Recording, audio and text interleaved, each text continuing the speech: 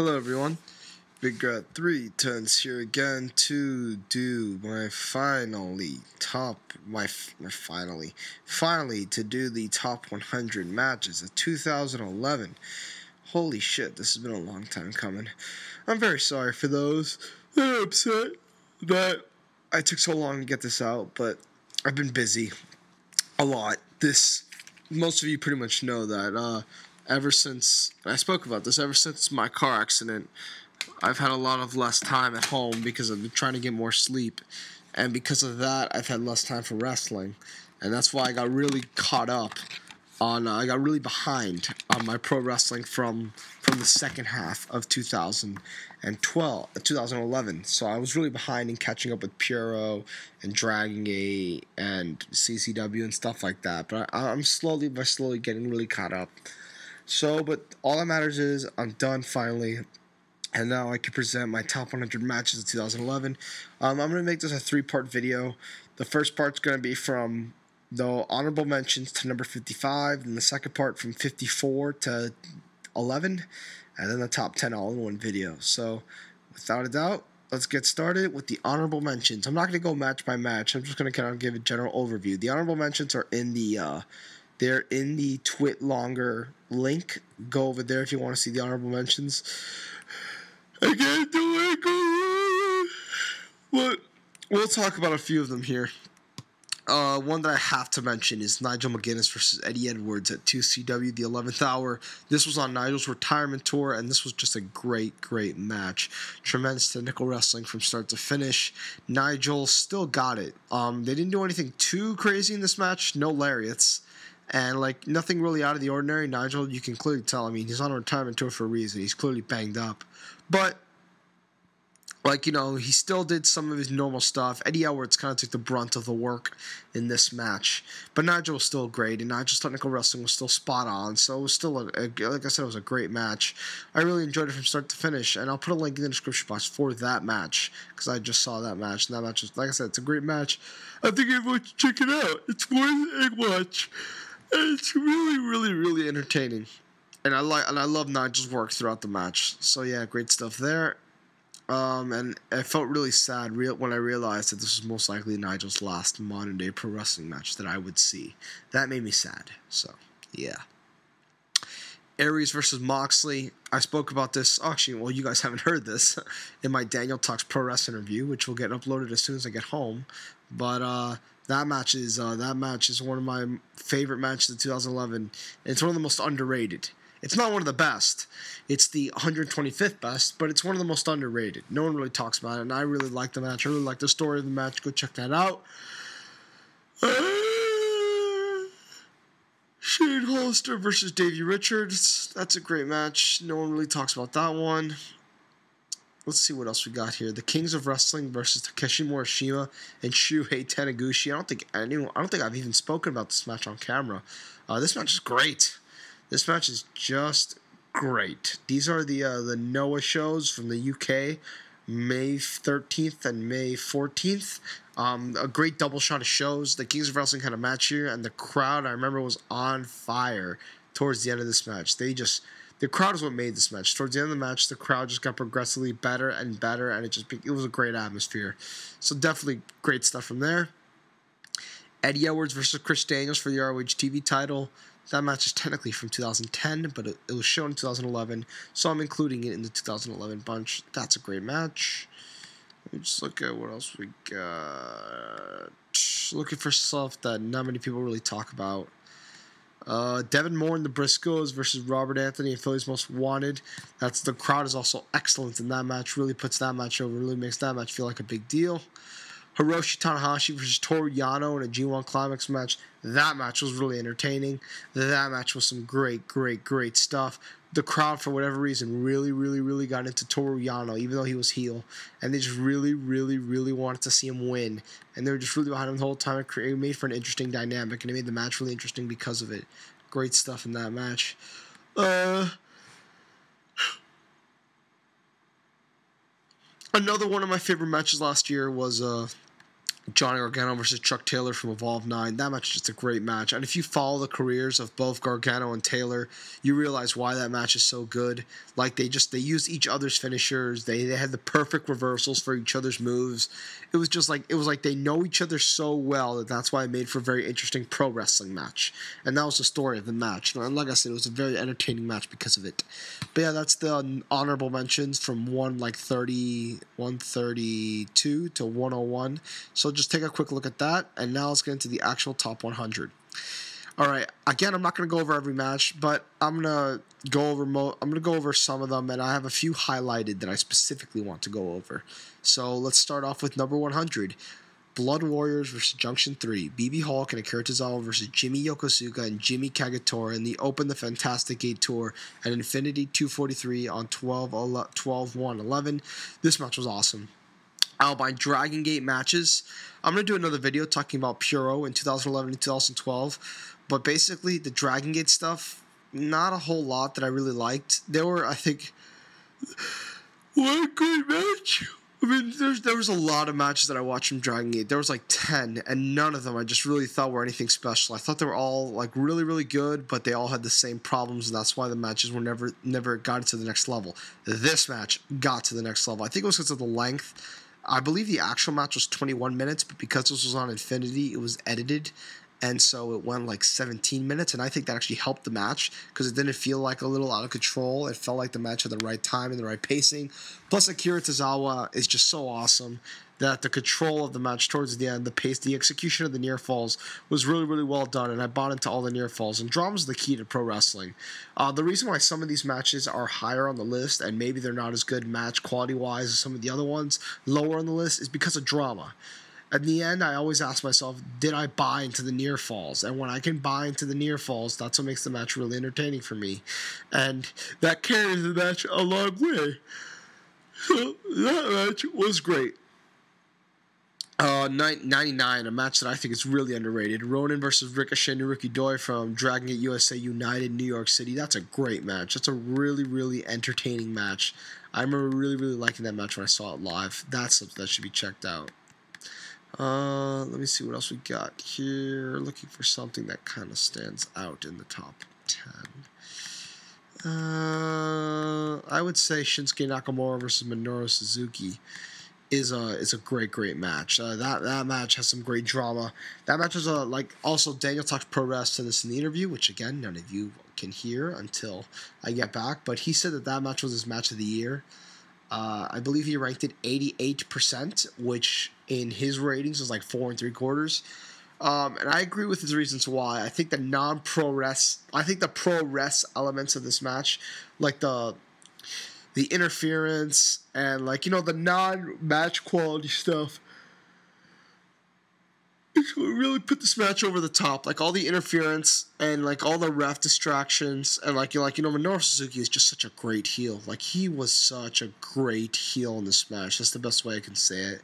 And he and he and uh, he and Nakamura had a very great match because Nakamura is probably New Japan's best guy. I would say, from what I've seen.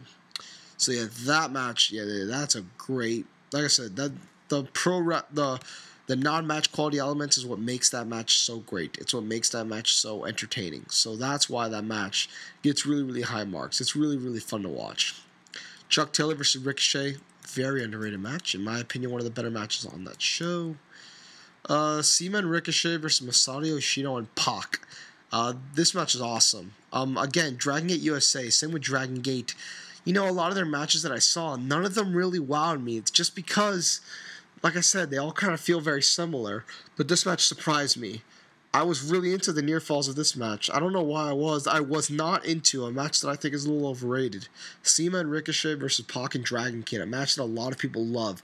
I wasn't into the near falls of that match. Maybe it's because I don't follow the product very well. So when those guys are exchanging a million near falls, I'm not buying into it. Like I'm just like I don't care. I wasn't. I still thought the match was very good, but the near falls didn't engross me. I think because I follow this product a little more closely, and because I understood the storyline of of of the Pac Ricochet Challenge Series and Tag Champions versus Tag Champions, it made the match feel like a bigger deal. So I think because of that, that's why I bought into the near falls more, and I was able to really enjoy this match. But that match was a great match, in my opinion.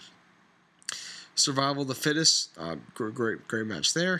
Shinsuke Nakamura, Hiro- Hiroyoshi Tenzan. This match, this match was awesome. This match was so good. Hiroyoshi Tenzan impressed the living hell out of me in this match. His comebacks in this match were just insane. I'll never forget this. Nakamura and him, for one, do a great job of, of working, of making Tenzan look like he's in extreme danger. But he makes a way to come out of that danger that is believable and relevant, and it gets me into seeing him overcome the odds. He, there's this one spot, I'll never forget this, where Nakamura whips him into a corner. Nakamura is charging at him going for a knee or something. He's charging full speed at him, and then Tenzan just runs forward and clotheslines the living shit out of Nakamura. And as he falls to the ground, the place just explodes. It is such an amazing spot. Like he just clotheslines him and goes down, and then he still won't go down. As much as this man has been beaten and battered throughout this whole match, Nakamura still constantly tries to put him down, hits him with several knees, and Tenzan keeps coming back up, getting his own reversals until Nakamura finally does a jumping knee at the top to finally put him away. Great match. My favorite G1 Climax match. Just really, really entertaining stuff. This match was, God, this match was everything I really liked about New Japan. I'll say that. Uh, Masato Yoshino versus Don Fujii for the Open the Dreamgate title. Another great match. Another very underrated match. One of the better Dragon Gate matches of the year, in my opinion. Actually, maybe their match of the year, in my opinion. We'll see about that. Dragon Gate proper, not Dragon Gate USA. Uh, then we got John Gargano versus Yamato for the Open the Freedom Gate title. This was great.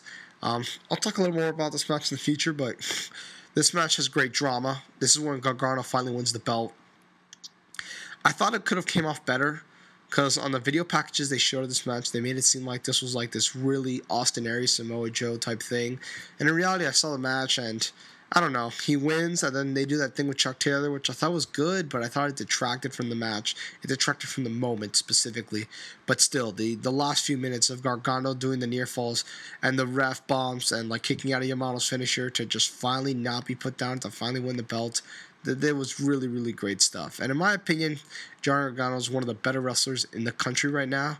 I think that like everyone knows that he's one of my top five favorite wrestlers. But as far as actual work rate, I really do think he's better than Davey Richards. I really do think he is one of the best in the world types. And I know a lot of people don't see him as that. I do. I mean, if you think about wrestlers in North America that are technically more better, that, they're technically better than Johnny Gargano, in my opinion, Quack, but Quack doesn't really get a chance to show it, so it doesn't really count. Danielson too, but Danielson uh, on the Indies, I'll say, because Danielson even in WWE doesn't really get a chance to show how good he is. As far as on the Indies, the best on the Indies today, I really think it's Gargano. If it's not Gargano, it's El Generico. Or maybe Kevin Steen. But that's really the only competition, in my opinion. I really think Gargano is so good right now. He's at that level, at that Davey Richard 2009 level. Maybe not as good as Davey was in 2009, but in that same category of this guy every match, every night is having a great match. Like if you look at every great Dragon Gate match, he's been in almost every single one. Like seriously, we're gonna talk about him a lot. I think I think he's in he's in this thing a lot, a lot, a lot. And I just don't think I, people have been saying a lot. Oh, he's great. He's improved so much. But I don't think people have been saying, "Hey, this guy is now legitimately one of the best workers in North America." I know Chuck Taylor said it, but I really don't think Gargano just. I just think he doesn't get the credit that he deserves. He's such a tremendous, tremendous, tremendous, tremendous talent. And I know maybe maybe I'm being biased because I'm a because I'm a big, big, big Gargano fan. But in my opinion, he really does deserve more credit for how much for how much work he puts in. All right, then we got what's next. Uh, what's one that I want to talk about? Uh, Adam Cole versus Sami Callihan for the CZW title at a Night of Infamy. This match was great. CZW. I'm gonna review every single non-tournament CCW show from last year. So I will be reviewing. I've already seen New Heights, and I, have already seen I've seen most of a Tangled Web, and then I just need to see Cerebral, Deja Vu, Down with the Sickness, A Night of Infamy, and Cage of Death. But I will watch them all because I think CZW storylines are very underrated. They really know how to build top feuds, and this feud has been built up for a long time, and this match felt like a big deal like I said, and the reason that this match is ranked higher than most is because of the drama. The drama of this match was very intense for me because I, I followed the whole storyline and I knew what was going on. I knew how hard it was for Sami Callihan to finally get a rematch with Adam Cole. What he had to go through DJ Hyde. I followed the storyline and the match felt like a big deal.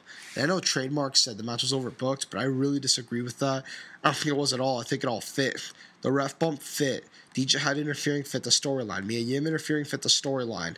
Like LV said, it was an Attitude Era main event. I think that's a great description.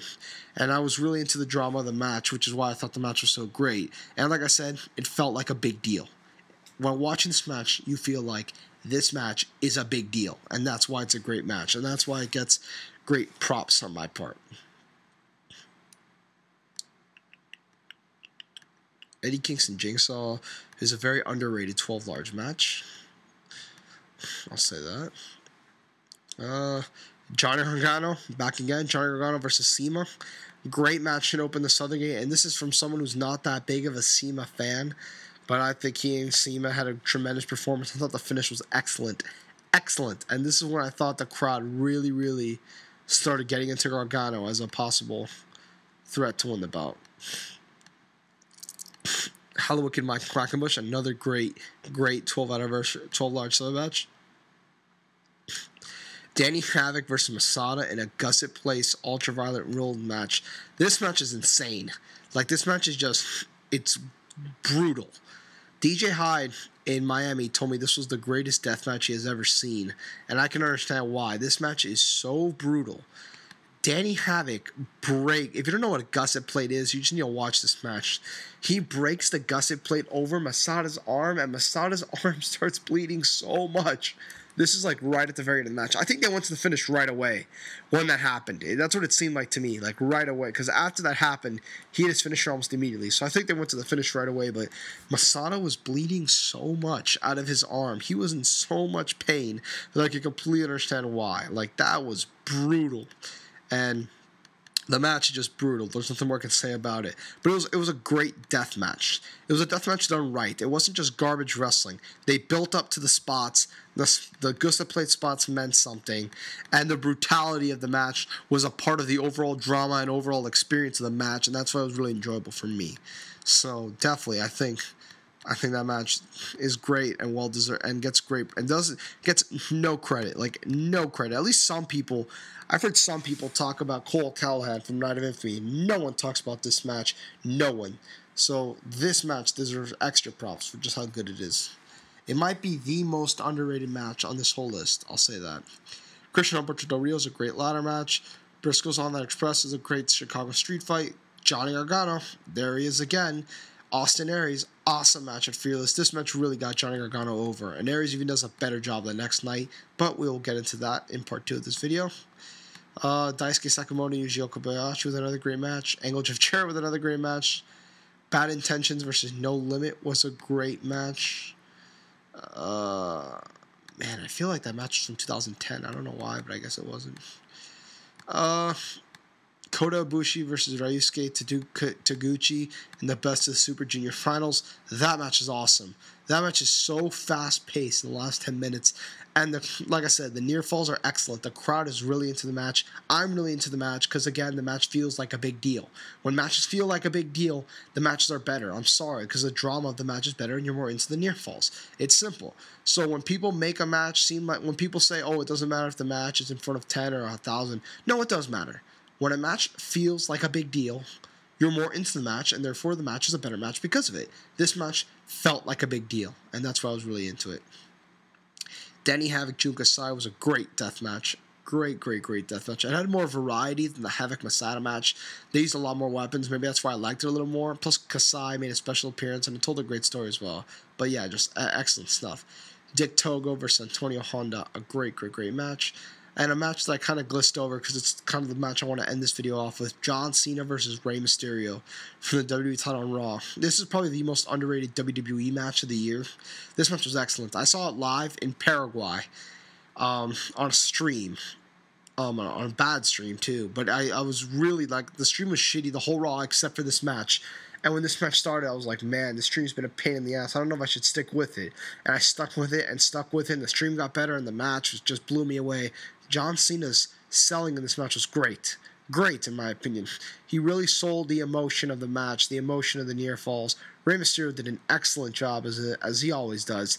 And he and John Cena, in my opinion, really connected. I remember the next day people were giving John Cena shit for being sloppy in this match. But you know what? even if he was sloppy, he was just so good, so good at the tech, at his technique, at his facials.